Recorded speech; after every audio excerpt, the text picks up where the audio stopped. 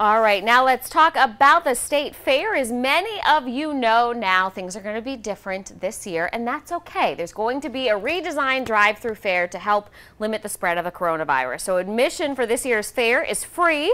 To view the art and agriculture exhibits and see the live animals, fairgoers will enter at the north gate. That is the one on Rosewood Drive that is right by the rocket. Um, the route is going to take you about 20 minutes to get through after you go in, so don't go thinking you can just get through in a couple of minutes. The exhibits will only be available for viewing on Tuesday, October 20th and Wednesday, October 21st. However, the food has been extended, so you can grab your favorite food from Tuesday through Saturday. Now, the menu is limited, but crowd favorites like your funnel cakes, your turkey legs, your Fiske fries, those will all be available. There's a separate entrance, though, for the food vendors. That'll be at Gate 6. That's on George Rogers Boulevard, so that's the opposite side. You'll be going in by the stadium.